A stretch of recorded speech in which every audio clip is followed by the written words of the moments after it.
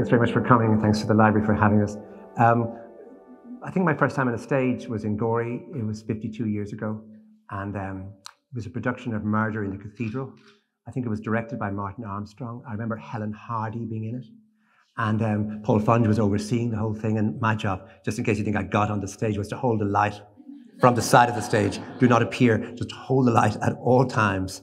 Uh, I don't know why the light couldn't be held by a machine, but anyway, I'll never forget that chorus does the birds sing in the south, only the seabirds cry, driven inland by the storm, and this being, this being said by a chorus in unison to a full house in what was effectively the backyard of the Funges, um, of the Funges shop. And it was the first time I really saw paintings properly. It was the first time I heard a lot of music.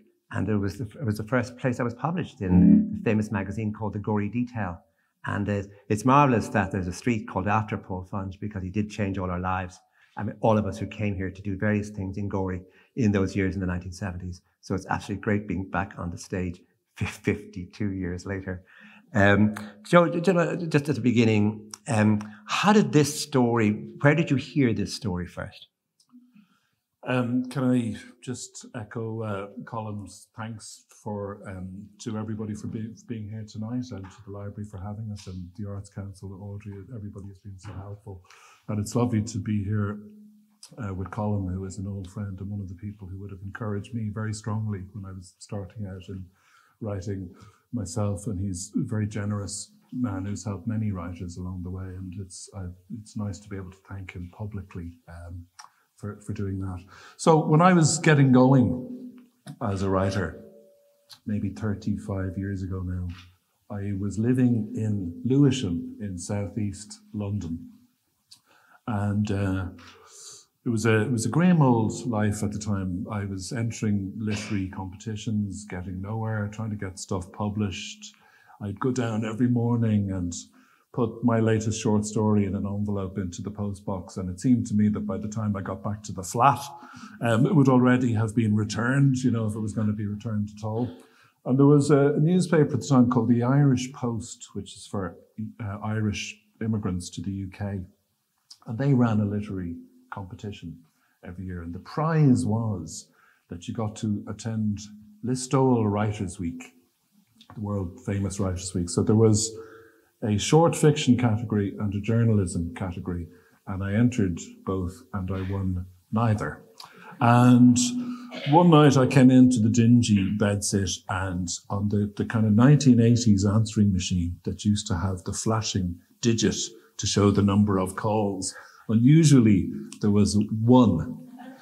And I pressed the button and the voice would have been recognizable to anyone in Ireland at the time because it was the voice of the great John B. Keane, who had rung my flat. And he, he said, Okay, so you didn't win the journalism, you didn't win the short story, but so why don't you come over anyway to Listowel Writers Week? And Kerry is full of O'Connors. I am married to an O'Connor. You know, you probably, if you look into the genealogy, you probably own Carrigafoyle Castle, you know, down the road, the ancient seat of the O'Connors come on over to Listowel. So I didn't, but I went the following year, and I think it was on that trip late at night, probably in John B.'s bar, that somebody told me, not the story, but about this character, this man, Hugh O'Flaherty, who was born in Kiskeam in County Cork, but grew up in Kerry and very much thought of himself as a Kerry person. And Kerry people are rightly very proud of him. He was a school master in his early 20s, and then he became a Catholic priest. He's a bright man. Um, he had three, he would achieve three PhDs in the course of his career. He spoke six or seven languages, and he went off to work in Rome in the Curia, which is like the Vatican civil service.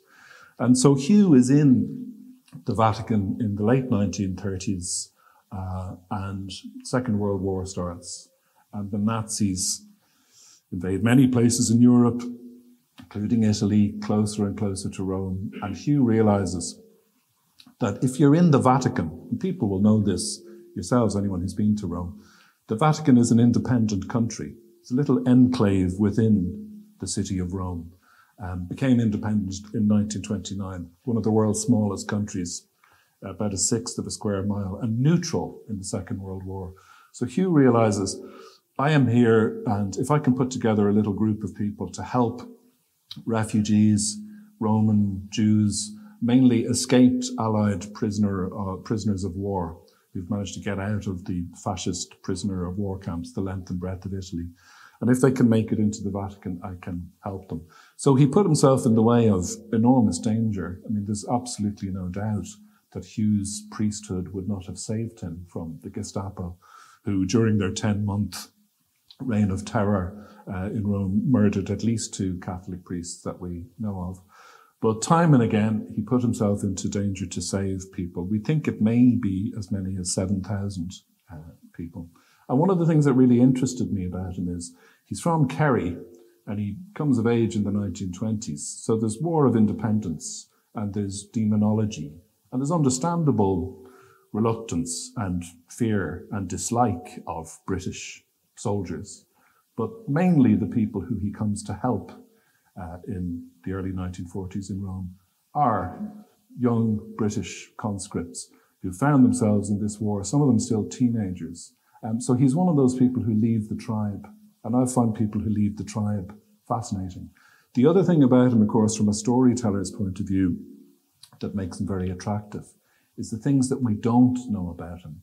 You know, and I've written before a couple of times about real historical figures where there's a silence you know, I, I wrote a novel about um, John Synge and his love affair with Molly Allgood, where we only have one half of the correspondence.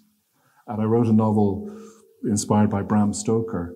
Um, it's wonderful man, but but a life full of shadows. I mean, we don't. There's so many things we still don't know about Stoker, and because Hugh's work was largely, of course, conducted in secret, there are a lot of things we don't know about him. So I found those silences very attractive. And in a way, the more I read about him over the years, the less I felt I knew. But I had a sense of him uh, as, as a person. And, and the way it kind of works with me is I, I always have three or four ideas circling for novels. You know, I don't wait for the muse to come and get me. It's, I kind of feel I'm like the air traffic control tower, you know, at Dublin Airport, and they're flying around, and occasionally you reach out and you grab one. And there was something about the COVID lockdown um, that intensified the character of Hugh and his struggles, something to do with borders and boundaries, and all of us being suddenly circumscribed. You remember yourself how frightening the first COVID lockdown was. We didn't know about COVID then, what, what we know now. Suddenly, you know, you're in a five kilometer distance, and then it's a two kilometer distance. And now you're living in a free country, but the police can stop you and ask you where you're going. And all the way through Hugh's story, there are these images of, of borders and boundaries. You know, there's a literal red line painted around the edge of St. Peter's Square to delineate the border between the Vatican and Italy. And you put your foot over that line, you're in a concentration camp. You know, it's it, it, it's that simple. So you're surrounded by orders and commands and surveillance and fear and boundaries. And I had already started the novel, but at the, the time of the lockdown, it, I just found I found it energizing in a way. I found that I wanted to go to this story every day. And that's what I did. I sat down and I wrote, you know, a thousand words or 1500 words every day, and the story began to kind of amass itself. Um, so it was, it was, it was a, a, a gift of the terrible time that was the lockdown. And then the story just, just kind of arrived. And then I started to piece together different elements of it. You know, Hugh's working with a small group of uh, seven other people who are from very different backgrounds. I mean, again, it's one of the interesting things about this story. This is not eight Catholic priests. You know, there, there's Hugh, there's um, a fascinating woman, Delia Murphy, some people will remember as, as a balladeer, a folk singer, kind of pioneer of Irish music. I was talking to John Kelly from RTE a while ago about Delia, and he told me that in 1940s Ireland, Delia was the nearest thing we had to a pop star. I yeah, mean, she yeah, yeah. she made albums and she went on tours and she, you know, she was her music was played all over Europe. So she's in Rome because she is married to um, a man called Thomas Kiernan, who's the Ireland's ambassador to the Holy See. Um, so she's put her career as a singer on hold because of his posting. Um, so he's the ambassador of a neutral country. We're not supposed to be involved in this conflict at all. But Delia decides she's going to side with Hugh, and she becomes very involved in the escape line. So there's, there's her, there's, you know, some of the people in the escape line are Jewish, some are, you know, there's Sir Hugh Osborne, who's the British ambassador to Rome, who is, you know, a public school educated aristocrat, the future Duke of Leeds. So he becomes an important friend of Hugh. Um, Osborne's butler, a Cockney jazz musician called John May, um, who's Jewish, he gets involved. So it's a very interesting and diverse group. The women in the escape line, hugely important. Um, and part of his leadership is to be able to put together this group who really agree on very little, uh, apart from their great love of the city of Rome and their desire to stand up for what we would now term human rights. That that's not a term that Hugh uh, would have would have used. Just some attempt to do the right thing. And they're living in a very, very frightening, dangerous um, world where they are surrounded by people telling them to stop. You know, we have the Nazis literally at the end of the square. I mean, if you were to go to where, if you drove here tonight, where you turned in off the main street outside tonight, that's where the Panzer tanks are. You have the Vatican authorities saying to Hugh, look, we're a neutral country. The Pope is saying, I don't want a pretext for the tanks rolling into the square, uh, the swastika flying from the dome of St. Peter's. We're neutral. This is going to have to stop. Um, and you have the Dublin government back, back in Ireland being very, very angry about Hugh O'Flaherty's work and warning him all the time to lay off. You know, we, this is a new country and we have only been in legal existence for 20 years. And we only have the freedom that we have coming out of decades of violence. And what Ireland needs is 50 years where there are schools and local government and courtrooms and a police force that works. And we cannot handle Luftwaffe attacks on Athlone and Dublin and Cork. Uh, you don't have a monopoly on, you know, being a good guy. You'll have to stop. And there's a chilling um, telegram which anybody can read. It's in the, it's online in the archive of Department of Foreign Affairs from a representative in the Taoiseach's office saying, if, if you don't stop your work, you're going to end up in a concentration camp. And the Taoiseach thinks that might actually do you some good, right? So th- this is the Who Irish sent government saying to an Irish Who citizen, sent that? I, I, I can't remember the name. It's sourced in the back of the book. So, and, and, and I think with, with Hugh that there must have been days when he wanted to stop himself. Like I'm always at pains to say about him, this is not like a radical guy. He's an obedient Catholic priest. He's not what we would now term, you know, a liberation theologian. He's a rather conservative man. But I think he just has the kind of moral compass where he's not able to stop. It's the kind of courage that in our era, people my age would remember the great day Nelson Mandela was released from prison.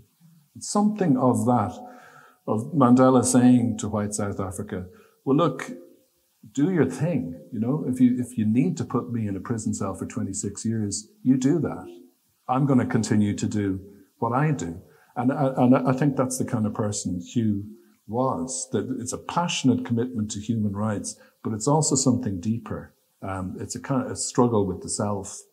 Um, and then he's such an attractive person to write about because in real life, he's, he's, he's such an interesting, chatty, witty man. He's a very complete person. He, he loves the opera. He loves poetry. Mm-hmm. He also loves boxing. He loves golf. He, he has friends who are women, friends who are men of very different outlooks. He's an unjudgmental, kind of charming person. I, I've read all of his surviving correspondence. Well, I mean, perhaps the trove of correspondence I was shown had been gone through already. But he emerges such a warm, kind of witty man. He loves the gossip from back in Kerry, who's going out with who. Um, he's got an endearing um, little fondness for um, asking people to send him uh, tickets for the Irish hospital sweepstakes and hoping that he might win on the on, on the sweepstakes. I'm sure he would have given the money to charity if he did. Um, uh, and uh, I, I, I had a, a lovely morning interviewing his nephew, who's judge, former judge of the Su- Supreme Court, Hugh O'Flaherty, the only person I've met who actually met Monsignor Hugh. And Judge Hugh, when he was a kid, when he was 15 and 16, the summer holidays where he would go over to the Vatican and stay with um, Uncle Hugh. And I was always very interested because um, one of the things that you come up against when you're writing about a very good person is that they're very good. And the, the, biographies of him and representations of him make him seem a bit saintly. But as every writer knows, you, you need to know your character's flaws too, because they won't work if they're saints. So I, I, spent a lot of the morning saying to Judge Hugh, yeah, but come on, you know, there must have been something about him that was, and he was very loyal and very loving. He didn't want to tell me. But finally, towards the end of the morning, he said, well, look, okay, um, he had been a school teacher and, and he could be a bit schoolmasterly, you know, and if he lost, if he ran out of patience with you, he could be a bit bossy and a bit authoritarian. Imagine such a thing as an Irish priest being a bit bossy and authoritarian at that time. And I, I, I went home just very happy because I now thought, oh yeah, no, I have something now that I can actually. Um, I just want to ask you, just, just, just before you read us a bit of the book, um, about um, four or five books in, as you were writing, you did something which seems to me really important in, and also in the making of this book, is that you saw that the making of any story would get more energy if you gave it a number of perspectives. Yeah. In other words, if novels like Redemption Falls, Star of the Sea, you bring in things that seem real documents or another person's voice or an actual omniscient narrator in the middle of all this so that as you turn into each chapter, something different happens. So you're talking about Hugh O'Flaherty and, and his story. But in fact, you're talking about what Dermot Murphy had to say about the whole thing, what, you know, the ambassador had to say, what the Contessa had to say. And it's not that they're competing narratives because, because it's not as though one of them is more unreliable than the other, but they are, what it is as though that, that you're working with a sort of mosaic hmm. and that the story comes together by the different colors you paint rather than coming into the book with a single narrator telling a single story that moves seamlessly. That that's that way of narrating seemed to that it, it ceased to interest you um, as a yeah. way of telling a story. Yes, it did. I mean, I I, I ran out of patience with it, and I, I ran out of possibility with it. And the reason is because the novel I was writing at the time, Star of the Sea, um, I felt couldn't have been written that way because Star of the Sea is tw- 20 years old this year to my horror. But uh, it's a, gr- a, great big long book, 450 page long book uh, about the Irish famine. And it is contested territory still. And, uh, and there are competing stories and overlapping stories. Um, so, so it seemed to me that, you know, a, a great big novel told in one voice could not do justice to the um, amplitude and capaciousness and noisiness and messiness that would be needed in a story like that. So I, I came up with this image of the ship.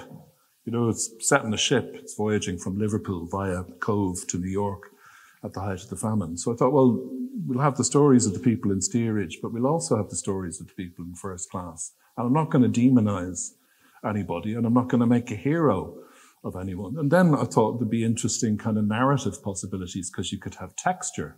So part of it is being written by the captain on the ship. He's writing a, his, his daily kind of captain's journal that they have to write, but it's, it's jagged. It's very direct. He doesn't have a lot of time because he's running a ship. So, so it's almost written in staccato style. And then part of it is being written by a narrator, as you realize towards the end of the book, who's looking back. You know, it's 40 or 50 years later. So he's had time to assimilate.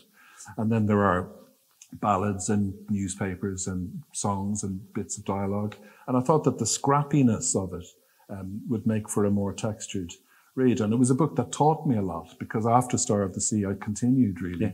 With that mode, um, to, to, to, one degree or another. So, like in this book, um, as, as, I said, it's, it's, it's, it's led by Hugh O'Flaherty, but it's a group of eight and um, one of the things that they do, they become convinced that the Gestapo have bugged every room in the Vatican. So when they're meeting, they have to be very careful um, that they assume they're being recorded.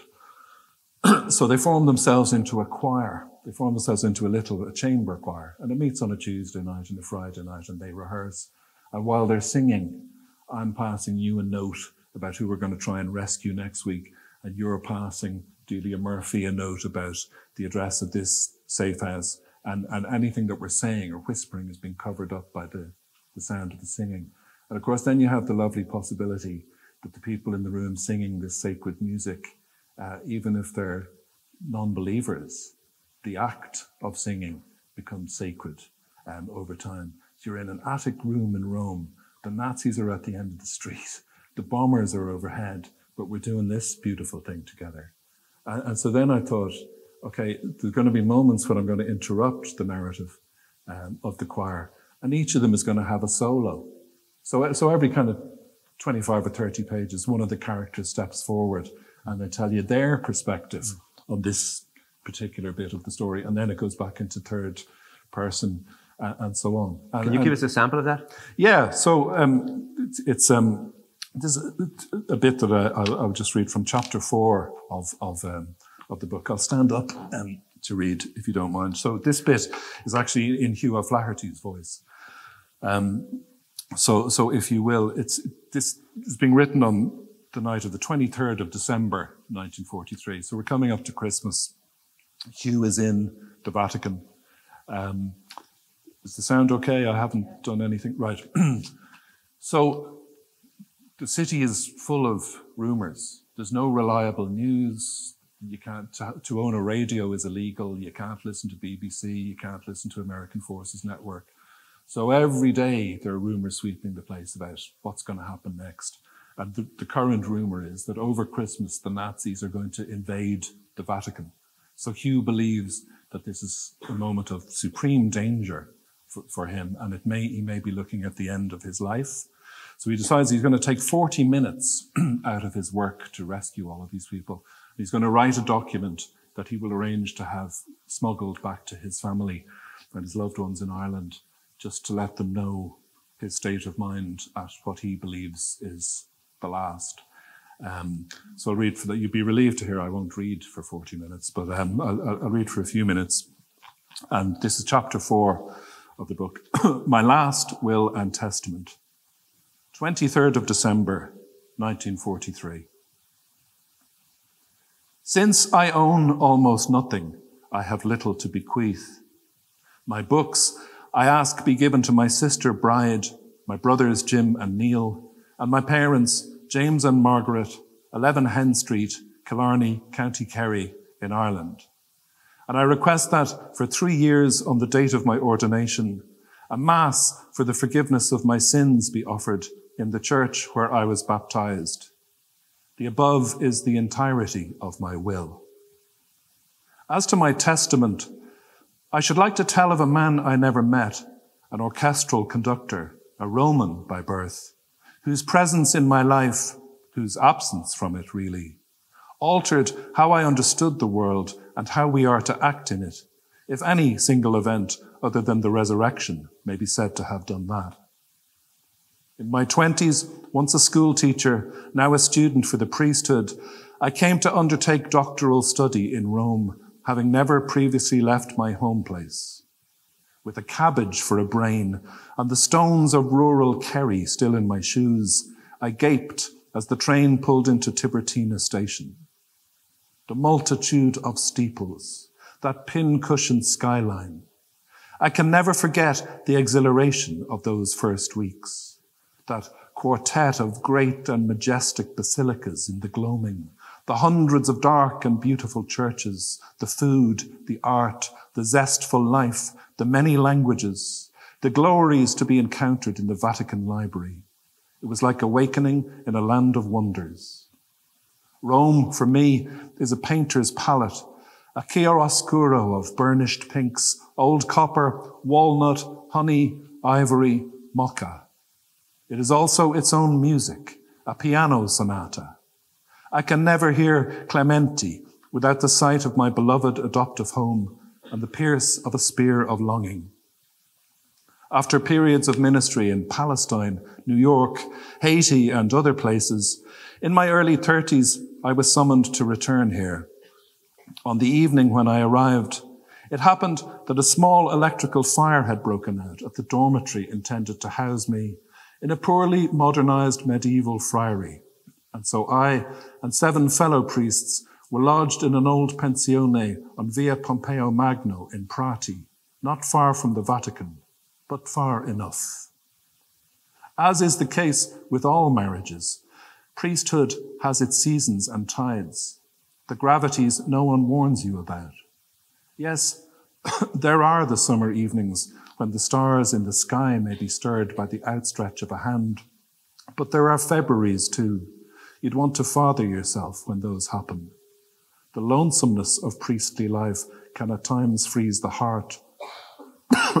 My Rome thawed it out, helped me breathe again. I lived in a boarding house for pilgrims, managed by Congolese nuns who had taken the holiest oath of all, an oath of silence.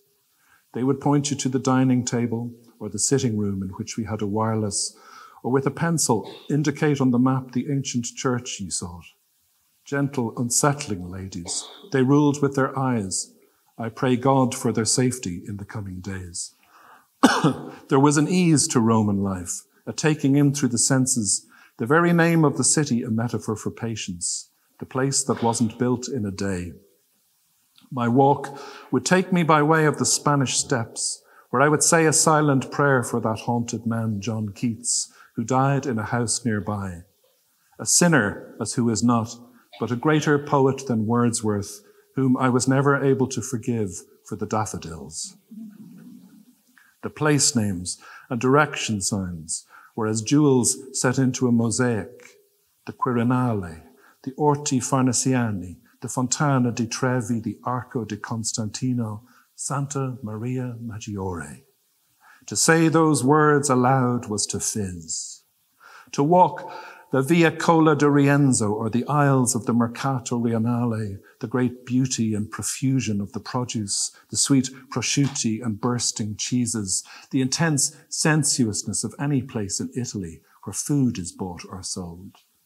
To watch the handsome women going about, the mocking way they argued with the stallholders, hefting an avocado here, a stem of luscious tomatoes there, or to cool by the cascade in the Piazza Navona, to sit a while by the Tiber, not a half hour's walk from my room. Ardent lovers, hand in hand, glitter eyed and gesturing, alive in the radiance of their need for one another, or the youths full of peaceful silences as Italians against expectation can be, staring contentedly into a fountain. The Romans are like people stepped out of a Caravaggio, long nosed, alluring, courtly, the street singers, the vagabonds, the bawling men arguing. A painful difficulty about happiness is that we so rarely notice its arrival. In Rome, we would soon know it was gone. In dreams, I'd often see Banna Strand or the rocks of coastal Kerry, the tiny islands like ink blots splashed by a careless cartographer.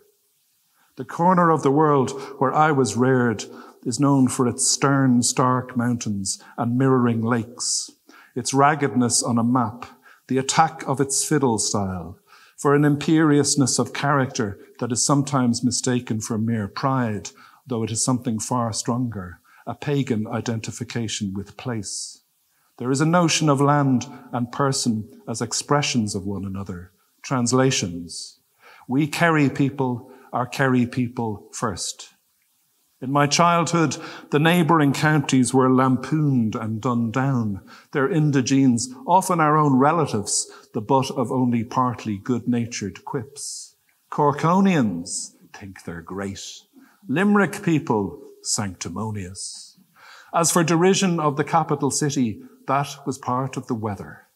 Dublin was West Britain, her citizens had sold themselves, prancing like show ponies for their overlords across the water, while the overlords snickered at the effort. My father used to joke that there was only one circumstance in which he could ever bring himself to cheer for England. That would be if an English team were somehow opposing Dublin in the All Ireland Gaelic football final, in which unlikely eventuality my father used to say, I'd be draped in the Union Jack.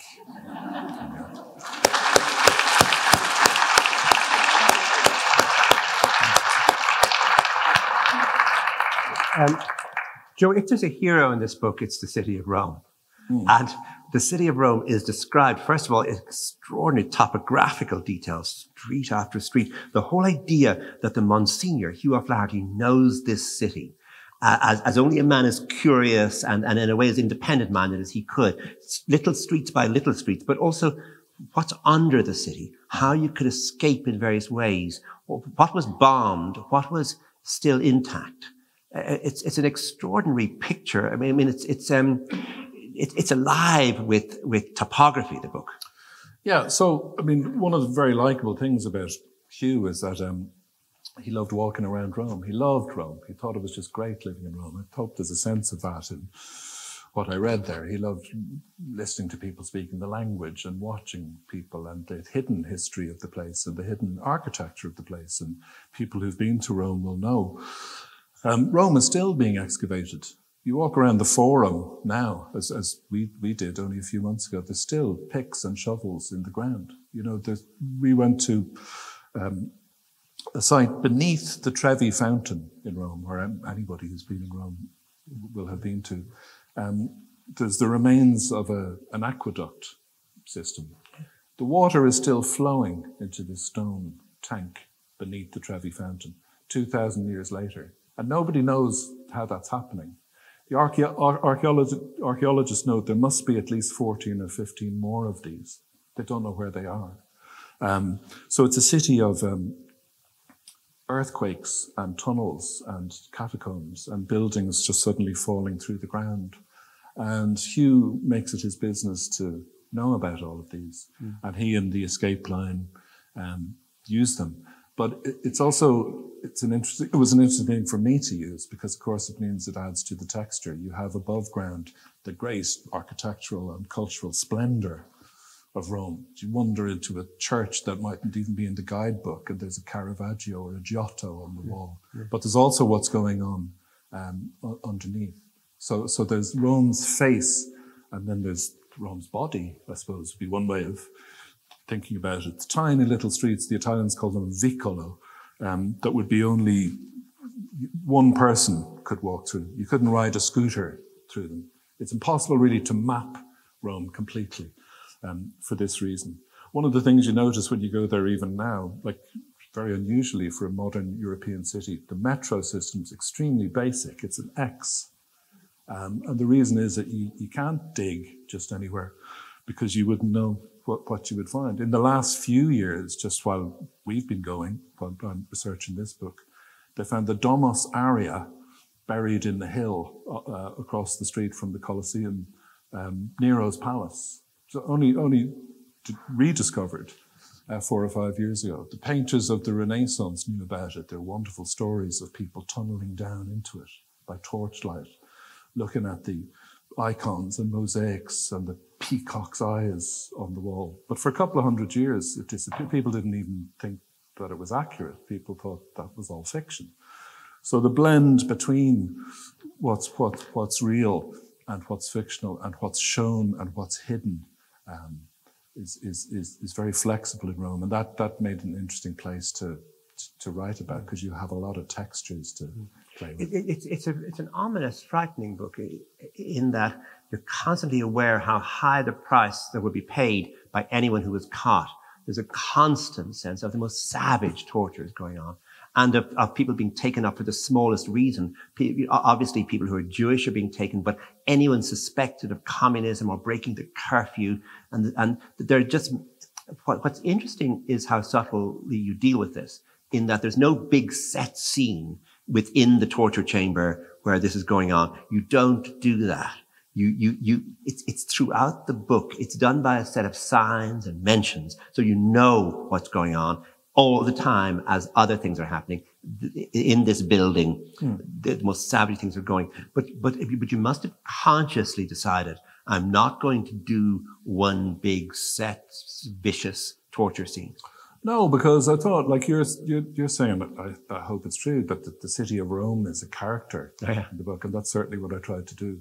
But also that fear is a character. Fear is something that you wake up with every day in this world over these 10 months um, in Rome. There might be a few seconds when you wake up and it's a it's a beautiful October morning and the nightingales are singing outside. You might have five or 10 seconds when you forget about it.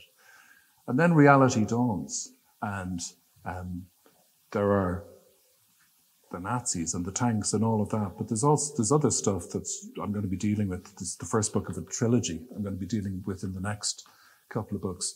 Huge things about food.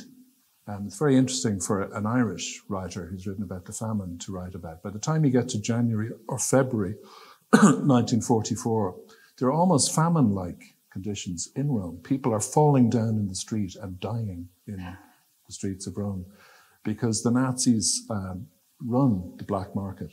And there's the constant thing you play ball with us, and there'll be something to eat today. And you decide not to, that's fine. Enjoy your heroism. There'll be nothing to eat.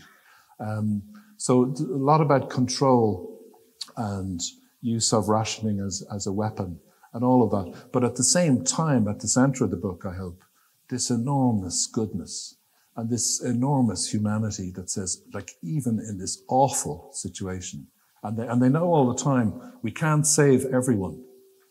That there will be the days when we can't save anyone. But if five people turn up in St. Peter's Square tomorrow, we're going to save them. And we'll put ourselves at risk to do it because we cannot live with ourselves otherwise. So, so, so, you know, it's the terrible world and the beautiful world. And there's the, the world of the Nazis, but there's also the Sistine Chapel and there's Verdi, the beautiful things that we've done and the amazing things that we do together. Like all the great things that we do are actually the things that we do together. And I suppose the choir was, was a way of dramatizing rather than just describing that. Because a choir can only work if you go quiet for those eight bars and I'll sing louder for those 16 mm. and this, we'll, we'll have the soprano and the alto and then we'll have everybody and then we'll have a solo. It, it can only work mm. by everybody doing but it. But I, I, think that works also in the way that you do the voices, where um, in the Delia Murphy section, which is towards the beginning, where mm. she gets to speak, you can actually hear Irish being translated by her. She uses after, you know, I'm after being sick, I'm after going down, but she doesn't use it. It isn't as though she uses it too much, but it is that there, there is a sense of flavor in her voice of a living speech. Yeah. And then you, re- I, think you really, I mean, I know you like Hugh we all like him. But the the English guy May, the the um, I, I feel in his tongue that you really enjoyed him I, I and love loved his tolerance, his how the fact that he was ugly and sexy, the fact that he you know he, he knew his way around the city in a whole different way. I felt you got that in when he spoke in the book in, in his voice. Well. Um, like I, I love listening to people's voices, and I, you know, I, I, I th- I sometimes think that when literature strays too far from the spoken word, it begins to lose something that it can, can only be compensated for by huge artistry and ability to build up energy in the sentence and a whole set of skills that other people probably do better than I do. But if you if you're able to convey on the page the flavor of how somebody talks, all sorts of wonderful things happen for the reader. It's very hard to completely resist the first person voice um, if it's done convincingly because it's somebody telling you their story. And I mean, Delia was such fun to play with because she's mischievous. You know, Hugh is a bit saintly and Delia is a Catholic, but, you know, skeptical. And she says, you know, I go to mass, but I wouldn't be a Holy Mary. I wouldn't be a great one for eight in the altar rails, you know, and there's great people of every faith, but there's 24 carat bastards as well, you know, so she's, she, there's no flies in her. And then Johnny, Johnny May, this Cockney character who did, did intrigue me. I, I mentioned this is the first book of a trilogy. So the final one, Johnny May is the central oh, character. Great. Oh, good. Um, and he, he's kind of apolitical, you know, to some extent, he was born Jewish, but is not involved in, in, in the war, or so he thinks. Um, he was a nightclub bouncer uh, back in Soho in the late 1930s, kind of decadent nightclub scene. He's seen it all, you know, nothing that you can do is going to bother him. Um, very much, he, he loves jazz, loves mischief as Colm says, has his own kind of way of moving around the city that nobody knows anything about. I, I really got his voice from when I went to live in London in the 1980s. So I lived in southeast London. And uh, used to go to a pub in New Cross with a friend of mine and play pool. And there'd be lads, London guys sitting at the bar, you know, the 70s or 80s. And inevitably they'd get to talking about the Germans, you know, the fucking Germans. Uh, two, uh, two, uh, two world wars and one World Cup. That's what I say to the fucking Germans. But slightly tongue in cheek. You know, you sort of felt they didn't really mean it. Yeah. Um, but there was a, there was a floweriness and a great colour to that southeast London Cockney speech, which is a completely different set of tones from from Delia or from Hugh or from the third person narrator. So it's, it's an attempt to say, look, like the world is full of beauty. Even the way people speak is full of beauty. I have an accent. You have an accent.